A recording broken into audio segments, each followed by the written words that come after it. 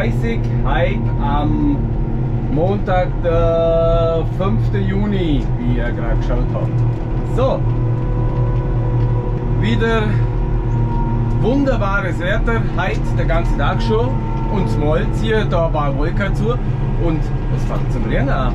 Ja, Hammer!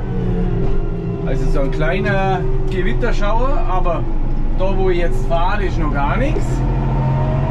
Bei uns hinter da hat es jetzt schon ein bisschen mehr geregnet. Also tut es ein bisschen mehr. Ja, ist auch mittlerweile schon wieder, ja es ist komisch, gell? ist schon wieder bitter nötig, dass es eigentlich, dass es mal was regnet. Gell?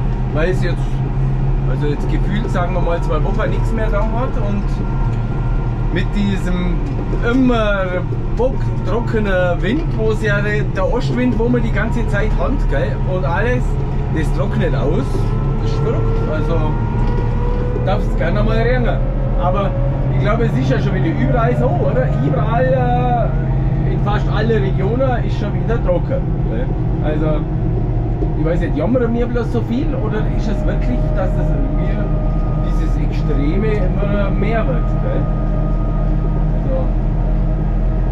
Also dahinter werden jetzt ein bisschen. Also da oben könnte es sein, dass es mal ein bisschen nass wird. Aber viel ist das auch nicht. Das ist so 5 Minuten Regen und dann ist wieder rum. Aber, aber wenigstens etwas. Äh, ja. Okay, gut. Jetzt am Montag. Ja. Was tun wir nach dem Meer, nach dem Heiber? Schütten. Und da ja, wie letztes Mal, oder? Haben wir ja heuer gesagt, erster Schnitt. Alles gut verlaufen, gute Menge, gut Wetter gehabt, hat alles passt. Und ja, und jetzt tun wir halt der Nacht noch ein bisschen abschütten. Da, da, kommen wir gerade daher, da habe ich schon abschüttet, das habe ich noch am Samstag so, so zwischendrin noch etwas gemacht. Und jetzt die größere Wiese da, da. Äh, die fehlt noch, das sind noch gute 4 Hektar, die machen wir jetzt noch. Da fahren wir gleich da rein. Fußwerk rein. Ah, so, hoppala, wieder ein Loch gefunden. Haben wir ja letztes Mal schon gelacht, gell? aber jetzt war es ja wieder wahr. Jetzt ist es woanders. So, äh, ja, was, was es zum Schütten zu sagen? Eigentlich nichts, gell? das ist ja alles schon, alles schon besprochen.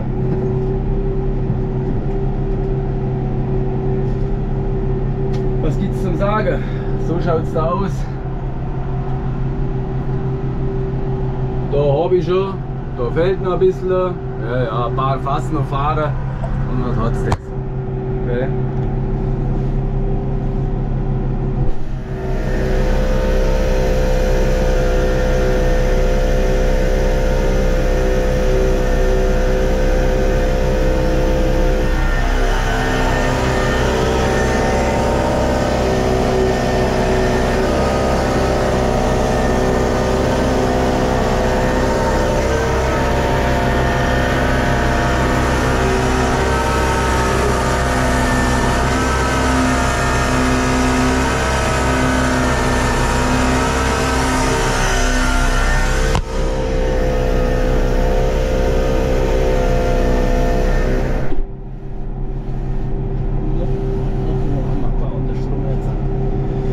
Mein geliebter Möscher-Verteiler. Das ist halt einfach eine super Maschine, die wir bald noch mal haben dürfen. Ja, wenn der gerade soweit ist, ja, ich weiß noch nicht, was ich in Zukunft machen werde. Also wir haben ja unser dieses Gemeinschaftsfass, oder wo wir mit, ich weiß nicht wie viel wir sind, 15, 16, 18 äh, bauen. Jetzt haben wir da dieses Fass noch mal zum Probieren und das halt einfach einmal wir da gekauft haben als Maschinengemeinschaft, oder? Äh, ja, aber das ist natürlich ja nicht dann, wenn es verpflichtend ist, nur noch Schleppschlag zu fahren, da funktioniert das ja nicht. Dass da alle, alle mit diesem kleinen einen Fass da irgendwie umeinander und also das funktioniert nicht, das ist ja eh klar. Da werden wir schon irgendwie noch eine andere Lösung finden. Also ich gehe davon aus, dass sagen wir mal die größeren Betriebe, wo da dabei sind, die werden sich sicher da selber mechanisieren und selber Skepner. Haben sie teilweise auch schon, aber nutzen sie nicht und ja, je nachdem. Und dann bleiben halt nur die kleineren übrig. Jetzt ist halt die Frage, wie viel sind es und, und funktioniert es dann? Weil jetzt noch mehr, jetzt will wahrscheinlich jeder fahren. Ist ja klar, oder? Jetzt warte, haben wir gerade eine Leerspritzke dann. Kann ich da wieder, naja, so. Äh, ja, auch wenn es jetzt angenommen nur 10 so Kleinbetriebe sind wie meiner ist, oder? Aber das trotzdem funktioniert das mit einem Facetter. Ja? Ähm, das ist jetzt noch eine spannende Herausforderung, wie das jetzt in Zukunft ausschauen wird. Also, ich kaufe durch auf keinen Fall was. Ich investiere in die Gülle-Technik gar nichts. Ich kann Bock drauf. Äh, kein Bock, kein Geld für das. Nö, das will, das will ich einfach nicht. Mache ich nicht. Jetzt gibt es halt die Frage, ja klar, und jetzt andere investieren da und dass man dann irgendwie andere Technik ausleihen kann, das ist eine Möglichkeit. Oder dass man sagt, ähm, es ist jemand da, der wo sich selber was gekauft hat und der hat nur Zeit und ausleihen will er es nicht, aber er fahrt dann für mich, würde ich auch eingehen. Äh, ja, das, das denke ich, das sind einfach nur Sachen, wo jetzt so geklärt werden müssen. Jetzt so im Laufe des Jahres würde ich jetzt mal sagen, würde ich mich da schon mal ein bisschen mit meinen Kollegen, je nachdem, so wenn da so gerade verwischt, äh, mal unterhalten mit denen und schauen, was sie so vorhaben und ob man da irgendwie so eine Lösung finden könnte. Gell? Das wird dazu kommen. Ganz mein Fass hergeben tue ich natürlich jetzt, weil ich darf die Flächen, wo oben am Haus sind, auch zum Beispiel die Fläche, wo man letztes Jahr mit, dem, äh, äh mit der Gülleverteilung oder Gülleverschlauchung gemacht hat, diese ganze Fläche oben im Haus, dafür dürft ihr weiterhin noch mit dem fahren, weil das ja aber bestimmten Hangneigung mit Schleppschlauch nicht der Fall ist und da fällt das, die Fläche mal raus, also die darf ich nur selber fahren, wenn ich sie, ja. Und alles andere, was halt in der Ebene ist oder einigermaßen eben, das wird mit Schleppschlauch gefahren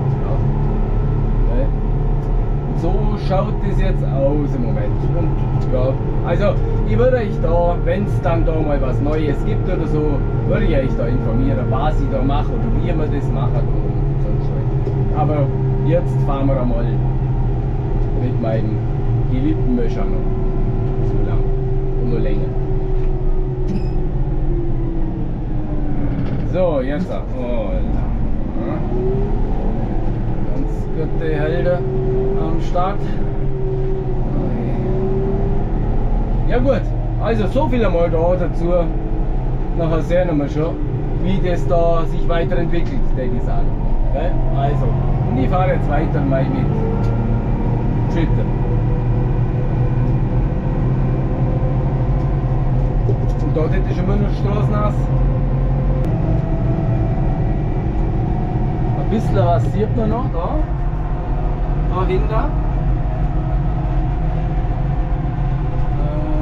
noch ein bisschen lenken, oder? Da wo der Berg ist, dahinter ist es reingekommen und ein bisschen hängt es dahinter noch. Bei uns da fängt es jetzt an langsam die Straße nass werden, gell? Also hat's, daheim hat es ein bisschen geregnet. Aber so wie es ausschaut, bloß ein bisschen. Aber mal schauen, die nächsten Tage hat er eigentlich auch immer wieder mal so Möglichkeiten von Gewitter. Also schauen wir mal, ob es was tut oder nicht.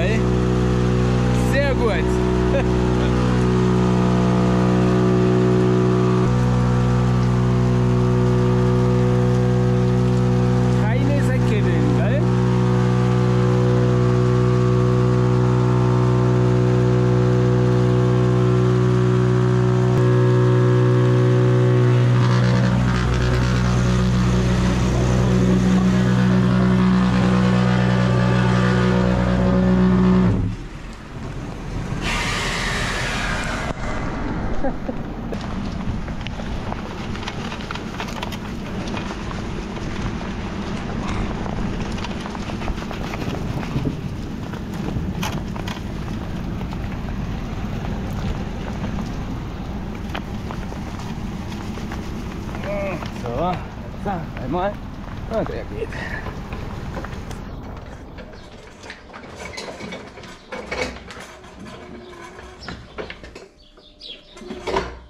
Sauber.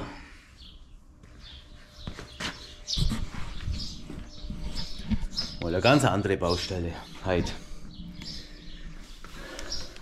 Unsere Kinder bringen alles fertig. Hey. Hammer, Hammer. Eigentlich noch ein guter Reifen. Also, heute unter anderem, heute ist natürlich, heute habe ich mehrere Sachen, so Kleinigkeiten, da was kriegt, da was kriegt, da was kriegt und so weiter. Und zumal komme ich an unseren Catcar-Parkplatz und sehe, jawohl, fall um, dass der Blattfuß hat. Da die Kiddies stellen es bloß wieder ins Eck rein und sagen nichts. Gell? Ich weiß nicht, wie lange der schon da steht. Aber jetzt weiß ich es Also, erstes Reifen wechseln. Reifen müsst ihr normalerweise nur da haben. So, und wenn wir schon dabei sind, hm, ich weiß es nicht, ob das funktioniert. Und zwar, die Anhängerkupplung funktioniert auch nochmal. Sieht man ja schon, alles total verbogen.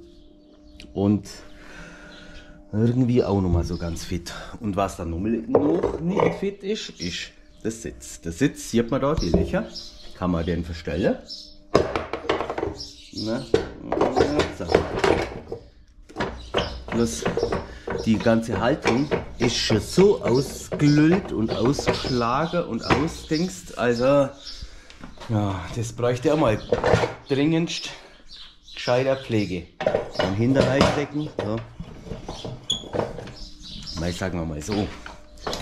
so zum Draufhocken, so schlimm ist es nicht einmal, gell? aber es sollte halt auch mal gemacht werden. Ja. Und sollen wir uns da jetzt einmal schauen, ob das was wird oder nicht. Also jetzt fangen wir mal an mit dem Reifen zuerst einmal. Flicke brauchen wir deren auch nochmal. Und deren auch nochmal.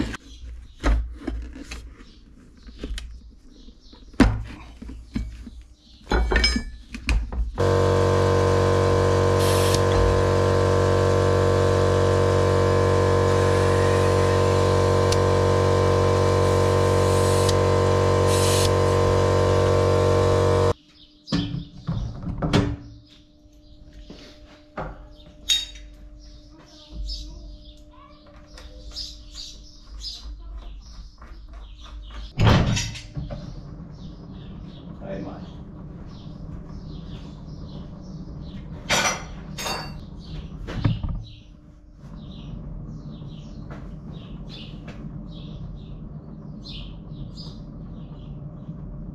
Hm.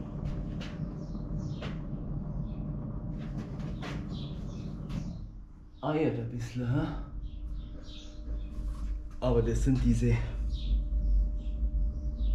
diese hochwertige Schleich, die machen da schon gleich äh, ein Ding. Aber was willst du für, für 10 oder 12 Euro Mantel mit Schlauch, was willst du erwarten, gell? Made in Pakistan oder Indien oder irgendwo.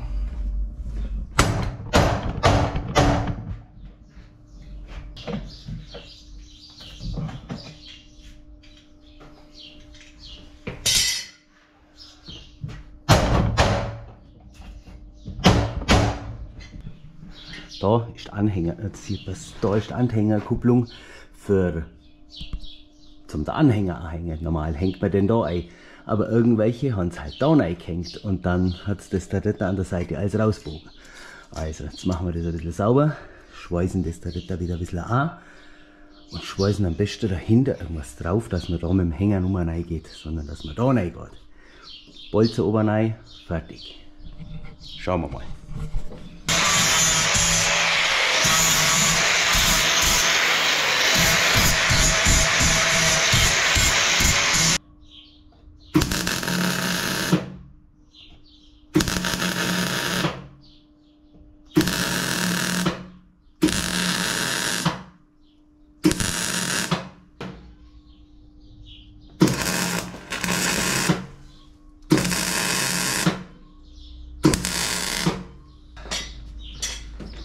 Da mal eine Brille, gell?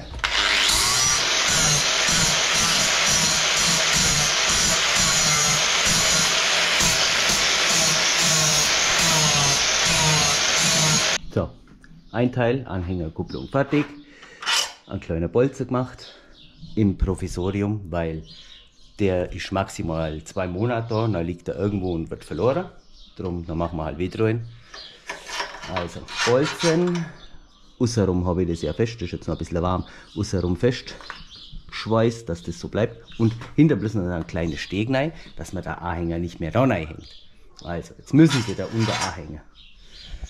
So, okay, jetzt, das war das erste. Und jetzt, das da, da ist das größte Problem, weil man sieht, diese Vierecke, die sind total ausgeschlagen. Und auch der Ding, der Sitz ist ausgeschlagen. Und das ist halt einfach, ja, das Material ist halt zu dünn. Da sieht man auch der Sitz ausgeschlagen. Da würde ich jetzt erst, als erstes denke ich einmal den Sitz ein bisschen aufschweißen und dann wieder abflexen und dann schauen. Aber oder sogar vielleicht ein bisschen mehr drauf schweißen, dass es dann ein bisschen am Buckel macht, dass es dann schauen wir mal. Und wenn es bloß ein bisschen besser wird, es muss ja jetzt nicht perfekt sein, weil sonst müsste man da ja, was müsste man sonst machen? Links und rechts ein schmales Eisen und dann und da querum dann auch so Stückchen einschweißen und das, das dann da fünfmal ober, fünfmal unter machen. Das ist gerade aufwendig, gell? Oder man soll so fertig lasergeschnittene Vierecke haben. Das wäre das wär praktisch. Dann könnt man die Vierecke bis da drauflegen, zack, links und rechts ein bisschen abpunkten, dann hebt es und aha. sowas wäre es. Wäre auch nicht schlecht. Aber jetzt probieren wir mal das. So, jetzt noch ein Provisorium gemacht. Schauen wir mal. Schaut mal, ich habe da so 6x6 äh, Vierkantprofile noch ein bisschen was gehabt und da habe ich jetzt einfach mal probiert, das ja, so drauf zu machen, dass das einfach nur mal ganz so schwanzet. Jetzt habe ich das so passend drauf geschweißt und dann dagegen auch noch ein bisschen. Und ich habe jetzt noch so viel Material gehabt für zwei, weil, ja, und aber das sind jetzt so die gängigsten, was für, für Kinder eigentlich gefällt. Jetzt können wir uns das mal anschauen. Das war mal, oder? So, so war es vorher. Und so ist es jetzt. Also, um einiges besser. Nicht richtig gut, aber für das reicht's.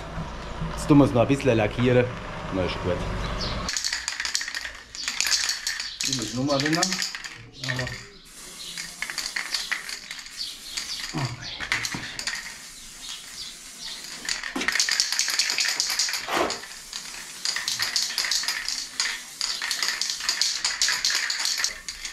Das war's. So. Lassen wir das jetzt trocknen oder hauen wir gleich den Lack drauf noch? Das trocknet doch, oder?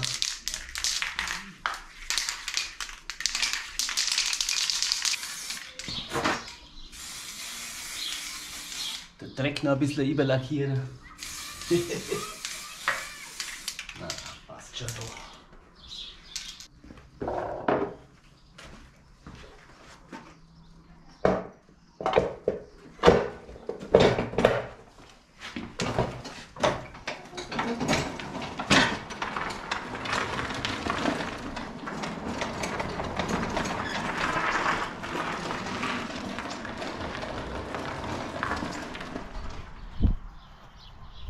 Du, gell?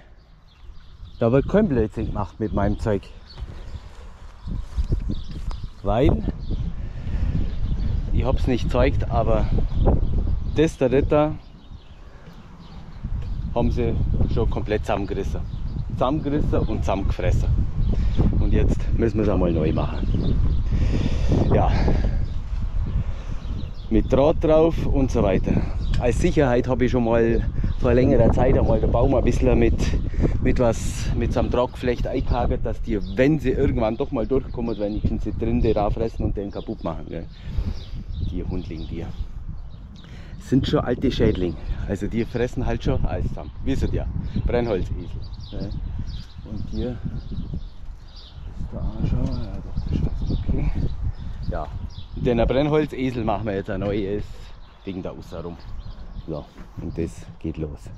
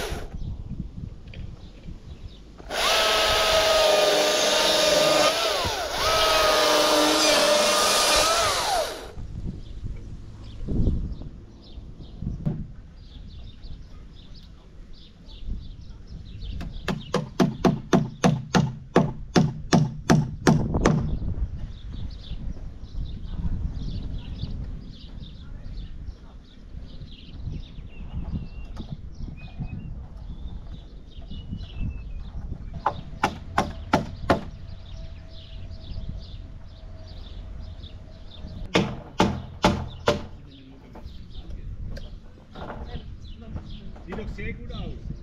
Schon, abgenommen von euch. Mal schauen, wie lange es hebt, gell? Ja. Bis es Dampffresse ist. Der dort schon bereit, weißt du? Wenn du weg bist, wird er gleich. Dann geht's gleich los. Der hat vorhin schon am Haufen schon angefangen. fressen. Gell? Du. Sag du.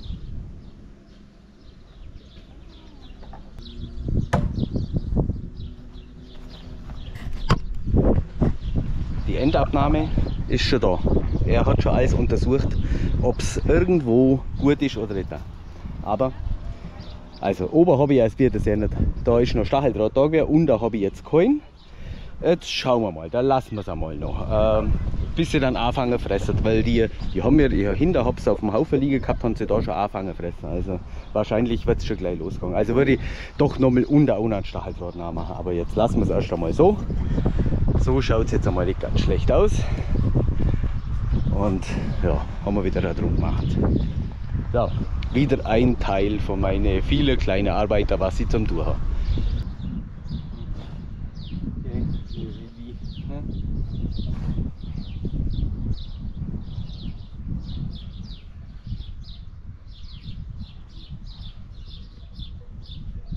Machen wir ein bisschen Ohrenmassage. Hat er wieder mehr Kraft und der Haag wieder zusammenfällt. Gell?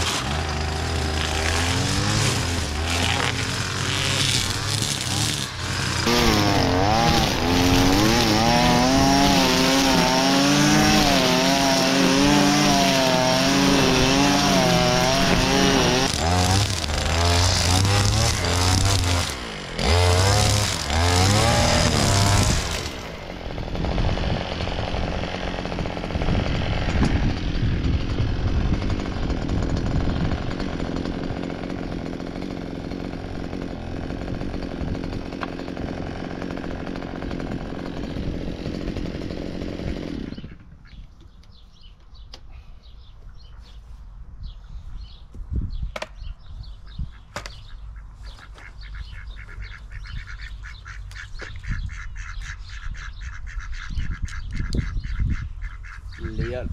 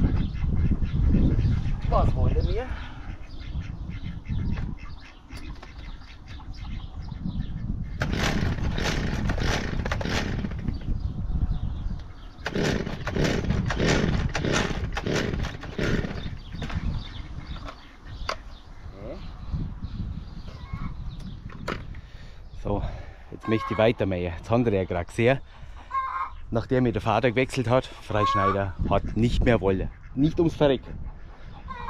Dann bin ich noch in die Werkstatt gefahren und der hat am Freitagnachmittag noch zu gehabt. Ja, hat gerade passt, dann war ich schon massig und bin wieder heim und war, hab der Karre auf Zeit dann. So, jetzt ist Samstag. Wir haben unsere Gäste schon verabschiedet, ja. Stall war ich noch.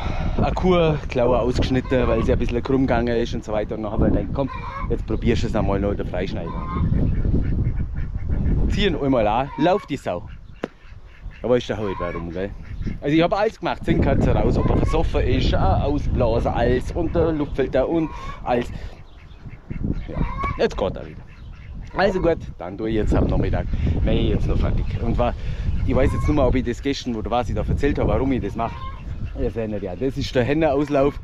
Ja, da ist eine kehrige Wildnis, die findet schon bald gar nicht mehr zurecht. Gell. Die laufen da schon so einzelne Wege da durch und ja, und das mache ich jetzt einfach. Jetzt tue ich ein bisschen, noch ein bisschen nachmähen, tue die Wege ein bisschen breiter mähen, lasse aber immer noch ein altes Gras standen, dass sie ein bisschen einen Schutz haben vor ja, wir haben auch oben, der Milan fliegt immer umeinander und schaut und so, dass sie sich ein bisschen verstecken können und ein bisschen, ja, genau. Und das mache ich halt jetzt. Gell? Ich würde sagen, dann tue ich jetzt das Ding da nachstellen, dann könnt ihr dann ein bisschen zuschauen, wie ich da mähe und dann denke ich, war es das fürs Video. Bis auf eins noch. Und zwar möchte ich mich noch bedanken, Sebastian, bei dir. Äh, ich habe mal wieder ein Paket gekriegt von meiner Amazon Wunschliste und da war was drin von dir. Vielen Dank dafür. Und natürlich auch noch für diese Handyhalterung mit Saugnapf für den Traktor, weil ich doch letzten Tag gesagt habe, ich tue da immer Video schauen beim Dings, aber habe keine gescheite Halterung da drin. Hat er gleich, hat er mir eine geschickt. Sau gut. Also, Sebastian, vielen Dank dafür. Gell? Okay. Dann ich sagen, war es das fürs Video. Ich hoffe, es hat euch gefallen. Und jetzt dürfen ihr ein bisschen beim Mähen zuschauen, ob ich das da recht mache. Wenn er läuft.